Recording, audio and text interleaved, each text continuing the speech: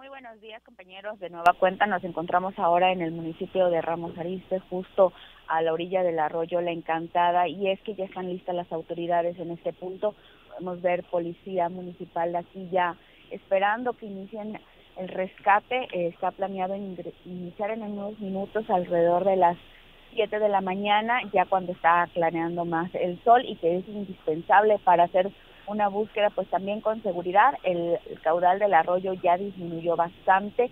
Recordemos que el incidente se presentó el domingo por la tarde cuando tres personas que viajaban en una camioneta roja cayeron al arroyo y que pues desde ese día en la tarde iniciaron eh, las acciones de búsqueda, continuaron ayer, estuvieron todo el día prácticamente hasta que cayó el sol y el día de hoy continuarán.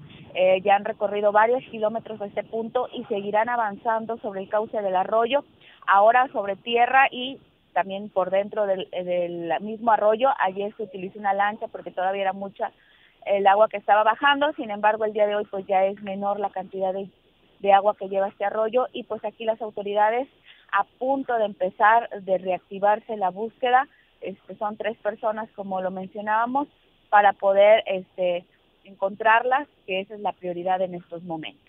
Hasta aquí mi reporte, regreso con ustedes al estudio. Muy buenos días. Muy buenos días, compañera. Muchísimas gracias por tu intervención.